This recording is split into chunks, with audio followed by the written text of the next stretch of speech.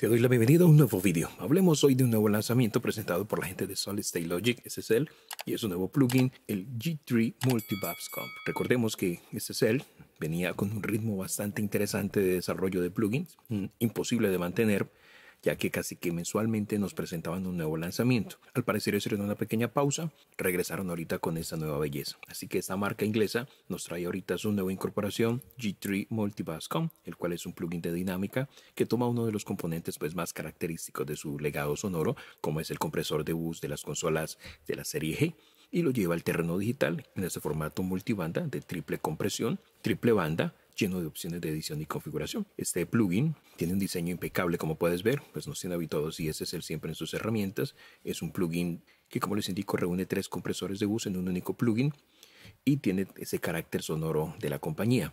Podemos aplicar claramente cada uno de los compresores a distintas bandas, medios, bajos o altos, y de manera muy precisa controlar cada una de las opciones para matizar, controlar la dinámica y darle un carácter sónico muy particular.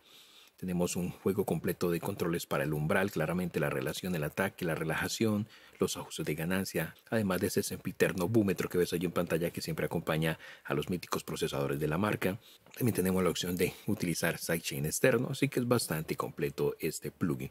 Cada banda podemos escucharla de forma aislada, así que vamos a pasar entonces un poquito a analizar a detalle cada característica que integra este plugin y vamos a probarlo también sobre una mezcla que tengo como referencia. Ahora quieres probar la versión de este plugin, así sea la versión trial, te daré un enlace en la descripción. A través de ese link puedes descargar entonces el trial o puedes adquirir esa belleza si necesitas un buen compresor multibanda. Esa sería una buena opción a tener en cuenta. Así que a través del link lo puedes obtener con un descuento especial por lanzamiento y puedes claramente probar el trial del mismo. Miremos un poco a detalle las características. Inicialmente, parte superior tenemos acá para activar o desactivar el plugin. Activaríamos todas las bandas, como puedes ver. Tenemos búmetros con sus indicaciones de ganancia de entrada y enfrente los de ganancia de salida. Tenemos acá el control para ajustar la ganancia de entrada. Podemos entonces trabajarla de forma independiente o también podría vincularla con la ganancia de salida. Entonces podemos hacer compensación en automático. En la medida que aumente ganancia de entrada, disminuye salida y viceversa. ¿ok? También tengo aquí para trabajar los vistas que quiero visualizar aquí, las bandas, o puedo visualizar el sidechain. Así que es bastante flexible esta vista en la parte inferior, bastante interesante. Luego tenemos las distintas bandas. Los controles son comunes a las tres bandas, así que me centraré en uno y claramente entenderán los otros. Tenemos el búmetro que nos va a indicar entonces la reducción de ganancia aplicada a esa banda, o sea, el nivel de compresión que estamos aplicando a los graves en este caso. Activa y desactiva la banda desde acá. Desde aquí hacemos una escucha independiente de lo que estamos haciendo en esa banda, de la compresión que estamos aplicando, el carácter sónico y el control dinámico que estamos aplicando. Y tenemos aquí para visualizar ganancia de entrada a estas bandas de los graves y ganancia de salida de las graves exactamente. Y luego tenemos los típicos controles de compresor. Usamos el umbral desde el cual va a empezar a actuar nuestro compresor, compensación de ganancia manual para esta banda. Tenemos la relación que queremos aplicar de compresión, el tiempo de ataque y el tiempo de liberación. Al final tenemos el auto para la liberación y tenemos aquí para trabajar esta banda con sidechain externo, solamente ella, o con sidechain interno como viene de forma predeterminada el plugin. Ya dependerá de tu DAO cómo lo implementas en Cubase, es muy sencillo. Vamos a armar el plugin aquí para sidechain externo, vamos al piñón y elegimos la fuente de sidechain, así de sencillo. Entonces ya podrías implementarlo en cualquiera de las bandas o en las tres. Así de fácil es esto. Bastante versátil esta herramienta. Y desde acá podemos activar para agregar un poco de drive a la señal. En la medida que subas esto, podemos sentir más desnaturación, ese color analógico, ese drive que agregamos con la señal y el LED nos va a indicar entonces la intensidad de ese drive.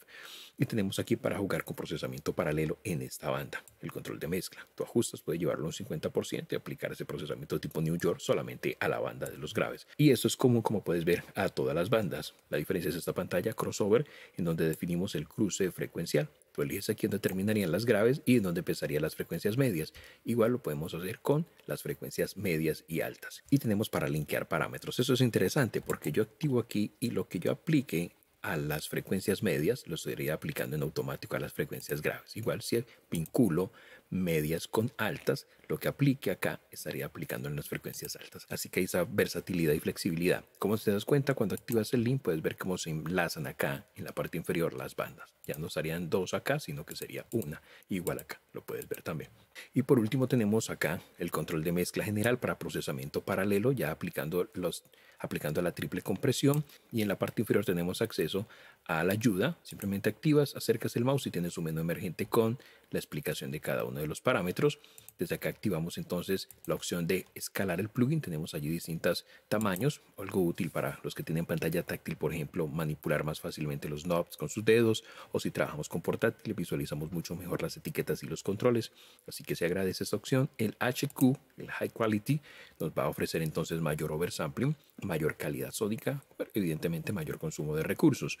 Ahora, si estás mezclando, pues te recomiendo tener esto desactivado. Ya cuando vayas a exportar tu proyecto, lo activas. O si estás masterizando, siempre tenlo activo, ¿ok? Para que lo hagas con la mejor calidad posible, evitar procesos de aliasing, por ejemplo. Acá nos dirá la versión. Tenemos aquí los presets. Tenemos una lista. No son muchos presets como nos tiene acostumbrado SSL, pero son un buen punto de partida para la mayoría. Entonces simplemente eliges acá una opción, un preset y partes desde el mismo. Te mueves desde los mismos con estas flechas y en la parte superior tenemos para hacer gestión de preset.